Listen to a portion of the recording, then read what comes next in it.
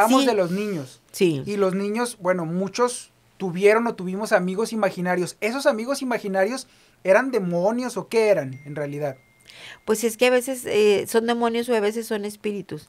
Porque yo les digo, hay espíritus buenos y hay espíritus malos.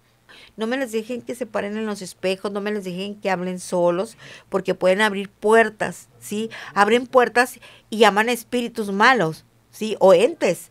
Hay espíritus que se ayudan para guiarte, ¿sí? O para protegerte. ¿Sí? Este te puede proteger este mi flaca directamente o alguien que te haya querido mucho, un abuelo, un papá que ya haya fallecido, ¿sí?